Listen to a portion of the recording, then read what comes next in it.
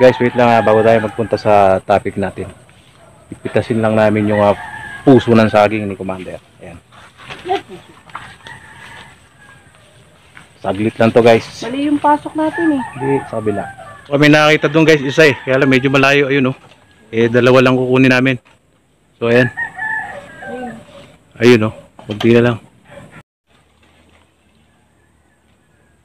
Why oh why? Yun. Right.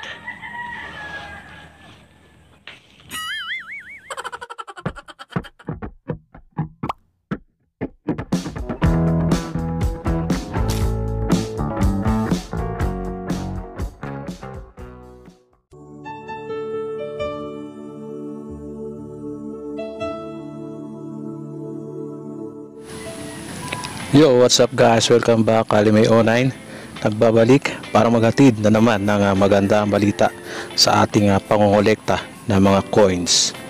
BSP series coins. Kaya muli samahan nyo ako dahil ah, para sa inyo itong mga impormasyon na aking ah, ibinabahagi. Ang ating coins today ay ah, itong mga 1 piso year 2001 2002 at 2003 pero bago tayo magpatuloy, ah, kung bago pa lang dito sa ating channel, pagtapos manood, pakisubscribe at ah, pindutin ang notification bell para updated sa mga bagong balita na ating hinahatid. Okay guys, ah, salamat at ah, andito kayo ulit. Halos sa everyday na po ako gumagawa ng ah, content dahil ah, ayaw ko po na lahat ng aking mga subscribers ay ah, mapag-iwanan sa balita at ah, sinisikap ko na unique at ah, eksakto at hindi fake news ang aking mga impormasyong binibigay sa inyo. Ganun man guys, may mga viewers pa din na hindi nila ma-appreciate ang mga impormasyon natin mga fake news daw at hindi uh, ibig sabihin na misleading content daw ang ating mga ah, binabahagi. Pero okay lang yan guys, ganun talaga. Kahit tama ang ginagawa natin, may mga sumasalungat pa din. Ayan yung mga tinatawag na pangbalanse. Parang ecosystem lang yan eh. Dapat balanse. Okay guys, 1 piso year 2001, 2002 at 2003. Check nyo agad guys ang mga barayan yung natatago dahil ibibigay ko ang value ng mga ito. First time ko ito gagawin guys. Pupunta tayo muna sa Numista at uh, NGC. Titingnan natin ang pagkakaiba. At kung may pagkakaiba sa mga value nito, sisikapin ko nga ipaliwanag yan. Kaya tapusin ang video para guys sa mga aspiring vlogger dyan, pwede po ninyong i-adapt ang uh, sistema ng aking mga content. Makakatulong po ito sa inyo. Okay, unahin natin puntahan ang Numista para sa mga value nitong tatlo at uh, pagtapos sa NGC naman tayo. Okay guys, ito na ulit tayo Numista. Ito ang kanyang menu. Sinearch ko. Search nyo lang pag nandito na kayo sa Numista yung uh, coins na inyong hahanapin. Meron yan dito sa may uh, bandang itaas yung kanyang search bar. At lalabas yan kung meron po siya. Ayan, 1 piso. Itong uh, coin na nandito. At nga pala kung gusto po nyo mag-sign up, yan, i-click nyo lang po yung uh, kanina yung may arrow. I-click nyo lang po yun at uh, mag-sign up kayo. Ayan, nakalagay dyan, join Numista to benefit. Mo, ano, ayan, nandiyan dyan. At uh, pipilapan nyo lang guys kung ano yung mga dapat dyan pilapan. Ayan, tapos i-click nyo lang yung sign up. Tapos magiging member na po kayo ng Numista. At uh, pwede na po kayong uh, mag uh, uh, offer ng inyong mga old coins na natatago dyan. Kasi marami pong nagtatanong na kung paano daw ibenta yung mga old coins. Actually dito sa atin sa Pilipinas, marami pong uh, coin collector na bumibili ng mga barya. Lalo yung po yung mga yung mga hard to find yan talagang uh, matatapa, matataas na po ang uh, value ng mga yan. At uh, meron din po nga bumibili yung uh, per set na halimbawa uh, 25 centimos isang set. Bibilihin po yan ng isang collector. Ayan. So, ayan, nandito na rin ang kanya mga pictures. Ayan ang kanyang edge uh, readed. Tapos may mga comments siya. Tapos, ayan. Try nyo nga i-search guys pagkatapos po ninyo nga content para uh, kung gusto nyo uh, mag-sign up, sign up na kayo. Tapos sa ibandang ibaba nito, ayan, makikita nyo agad yung mga year ng uh, 1 piso na inyong hanapin. So ngayon magpo-focus tayo sa year 2001 to and 3. So ayan, set up ko lang guys. So ito, ayan, ta, kitang-kita na yung tatlo, no? 2001, 2, and 3. Ah, kailangan ko pa kasi nga ayusin to guys. Eh. Ini-edit ko pa kasi to kaya hindi to ganun kadali. Kung panonoorin nyo yung aking mga content, hindi lang po basta ganun kadali yan. Kailangan din po ng skills yan para sa editing. So ayan, year 2001. Meron ba kayo nito guys? Ayan, 18% po ang uh, 1 piso na 2001 dito. Sa fine condition is uh, 8.60 pesos. VF, very fine, 12 pesos. Tapos uh, extra fine. Uh, kaya guys, uh, hindi po nagkakapare-pareho yan. Minsan sa isang year, uh, walang, uh, uh, walang very good, walang good. Kasi yun lang po yung uh, uh, mga barya na meron dito. Yun po yung uh, nagiging uh, kalakalan.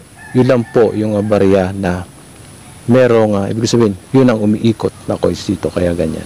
So, ayan, sa year 2000 naman, sa very good condition is a 3.44 ang kanyang value. Sa fine, 2.87. Sa very fine, 14 pesos. At sa extra fine is a 20. So, medyo maganda-ganda na ang uh, nagiging palitan ng uh, 2001 uh, and 2002 dito. Ayan siya. Tapos sa uh, panghuli yung 2003. Sa very good condition 4 pesos na. Tapos sa fine 5. Very fine 11. Tapos extra fine is at 10 pesos. Itong 2003 medyo mababa dito ano. Pero meron siyang uncirculated. Ayan oh, merong uncirculated. Ang value is 16 pesos. 21%. So parang marami, maraming uh, uh, 2003 dito na nakikipag uh, palitan ng kanilang mga Bariat. At uh, mamaya, tapos nito, titingnan natin yung kanilang comparison kung kano ang magiging value nitong tatlo na ito sa NGC. Yung NGC yan yung guys, yung uh, Numismatic Guarantee Corporation.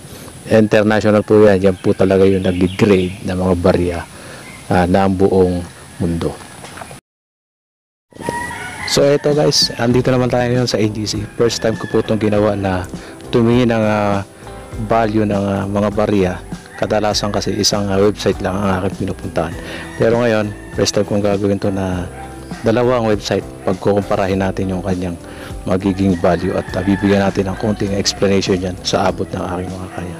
Ayan sa NGC nandito na rin yung kanyang uh, uh, specification ng barya. Yan pwede po kayo mag research guys. No, sa ganun eh pag hindi kayo nanonood sa aking mga content try nyo po mag research sa inyo sa iyong sarili para matuto po kayo. At uh, kung gusto nyo pong gumawa ng content gawin nyo po. Habang madali pa maabot ang mga requirements ni YouTube. So ayan. Sana yun? Uh, year 2001 at 2003 ano? So ayan. Yan wait lang uh, hindi pala natatapat. Ayusin ko lang. So ito guys uh, pansinin nyo yung kanyang year mean para mabilis lang tayo. Uh, ang barya mayroon dito isan nagsisimula sa year 1995 up to year 2003 ang ating pong coins is uh, 2001 so yung huling tatlo dyan po kayo mag-focus sa 2001 2002 at 2003 yung ating pong 2003 is non-magnetic. Yan.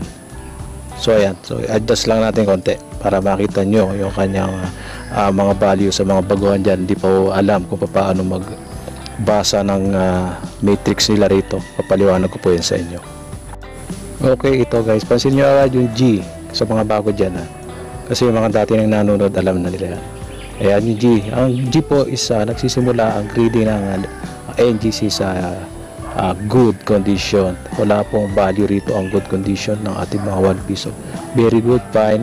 Sa very fine guys, uh, meron na pong value ang ating uh, 2001, 2 at 3. Yung huling tatlo, pansinin nyo guys.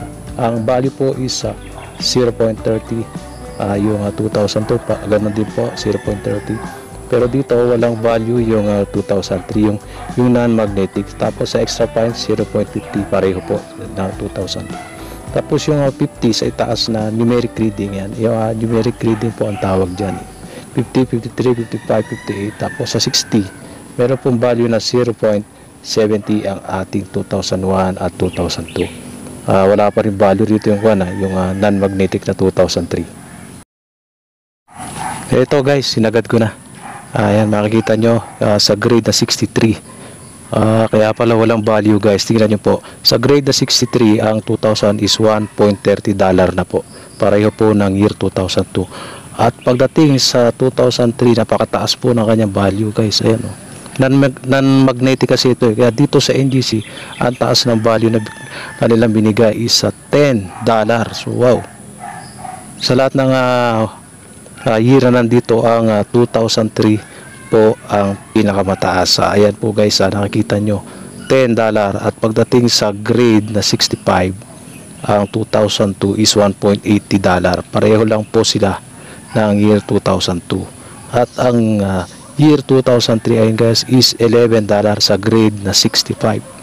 So wow, guys, ang taas nito. Kung meron kayong ah, year 2003 guys na non-magnetic at ang kondisyon is 65, yan po yung kanyang ah, 65 kung di ako nagkakamali.